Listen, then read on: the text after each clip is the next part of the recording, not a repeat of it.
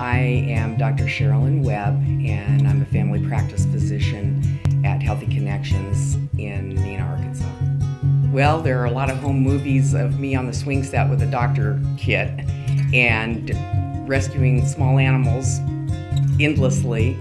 And then I have always been involved in the sciences with biology and also always been fascinated by people.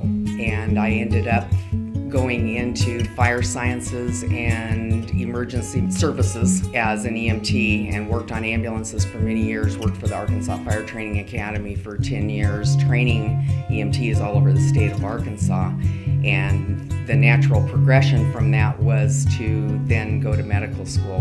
Another factor in that was that I was from a large, not wealthy family, and my parents decided to send my brothers to college, but I was told very early on that they were not going to pay for a girl to go to college because I was just going to get married and have children and waste all that money anyway.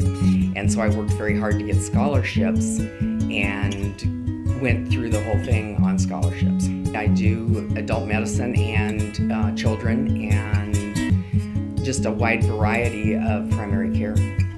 I think that a lot of people have neglected themselves somewhat during the pandemic, and that pretty much everybody is due to come in and get some health care maintenance. They, they're due for their tune up.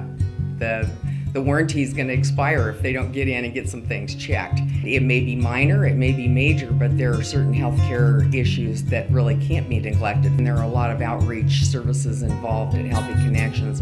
And we have the dental and we have behavioral health. There's just a wider spectrum of services than in, in other clinics. We also have a significant Hispanic population, and Eric and I both speak Spanish. We have a farm in Big Fork, 160 acres, that keeps us really, really busy. I have a huge garden. Uh, we have fruit trees. We have animals, and I do stone masonry in my spare time.